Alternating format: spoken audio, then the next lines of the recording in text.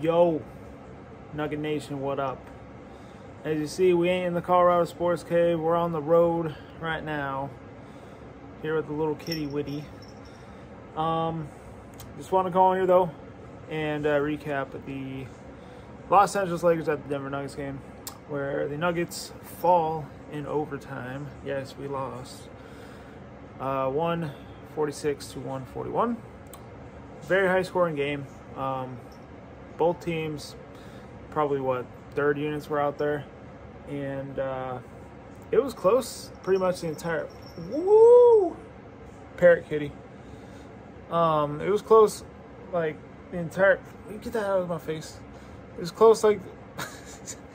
you know, it was close like almost the entire first half into the third quarter, and then um, just they fell apart there in the fourth. They were up uh, 13 head in the fourth, and uh, I don't know what happened, but that's what I mean.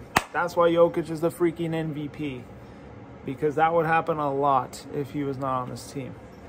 Team Blue, big lead, lost the game. Yeah, no Jokic, that would happen. They'd be a bottom feeder team. they lost to the freaking Lakers for crying out loud. That's what I've been trying to tell people this entire season.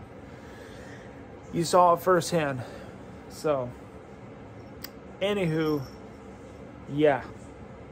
Ugly loss. It sucks. I mean, obviously, you want to win, but this game had no implications on anything. Um, the Warriors won, Dallas won, Utah won.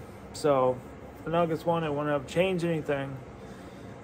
And, uh, you know. Think Malik Monk on the Lakers had like 41 points. Uh, that Austin Reaves guy, he went off. So they got some good young players over there they can probably build around. I'm pretty sure this is Frank Vogel's last game as a Laker.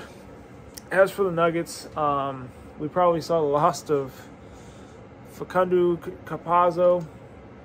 Um, he got ejected. It's probably the last time we'll see him in a Nuggets jersey. Uh, Bones Hyland did decent. Bryn Forbes played pretty well.